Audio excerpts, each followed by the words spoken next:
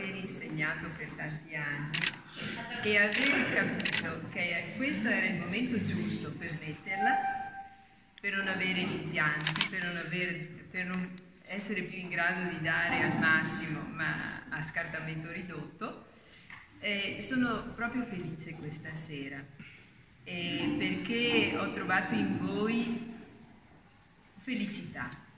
Eh, vi ho visti partecipi, ho visto occhi che mi guardano con sentimento positivo.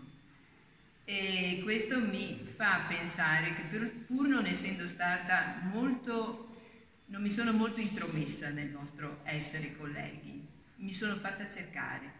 Quando avevate bisogno di qualcosa io ero disponibile, ma non mi sono mai permessa di andare oltre al ruolo di collega. Se c'è stato qualcosa che mi è piaciuto in voi è stato l'entusiasmo, è stato il vostro modo di porvi e un po' di strada ne avete tutti ancora molto da fare perché dovete mettere al centro sempre i ragazzi e non la vostra materia.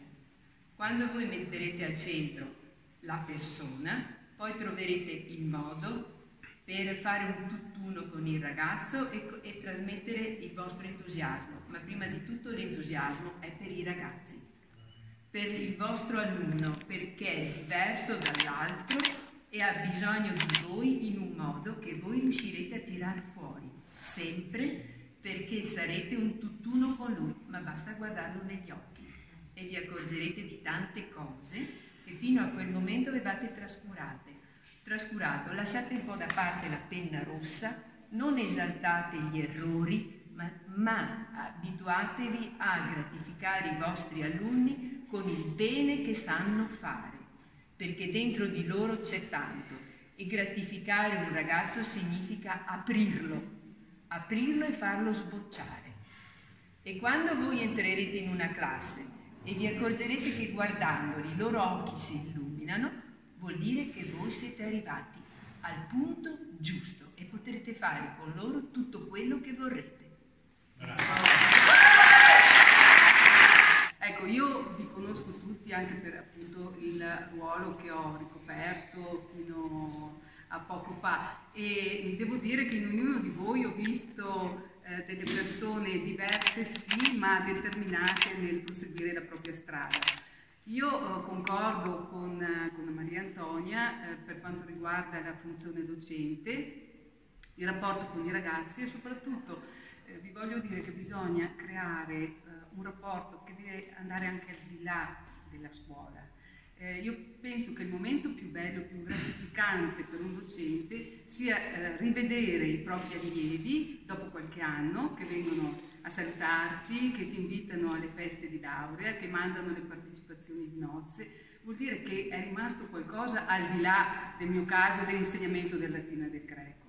Giovedì scorso mi sono commossa per due cose. È stato il mio ultimo giorno di scuola frontale. Ho avuto parecchi miei ex allievi che sono venuti a salutarmi perché erano stati qua l'11 maggio e, e sapevano che poi non ci sarei più stata, per cui sono venuti a chiedermi la mail, il numero di cellulare, ma eh, parecchi ragazzi veramente, di alcuni non, non mi sarei aspettata.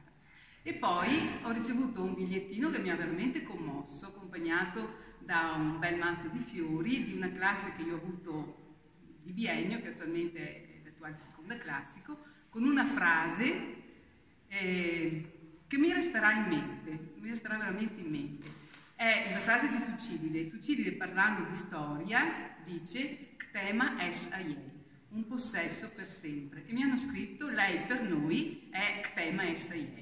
E, e lì mi sono veramente commossa, vi dico la verità.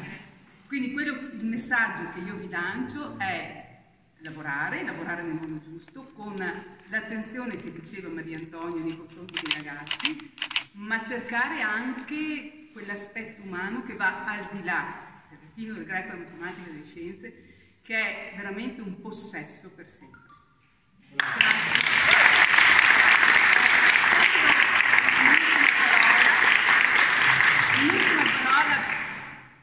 Per il personale cosiddetto non docente, perché sempre nella mia eh, funzione di vicaria, prima vicepresidente e dopo vicaria, ho sempre trovato molto molto collaborativo.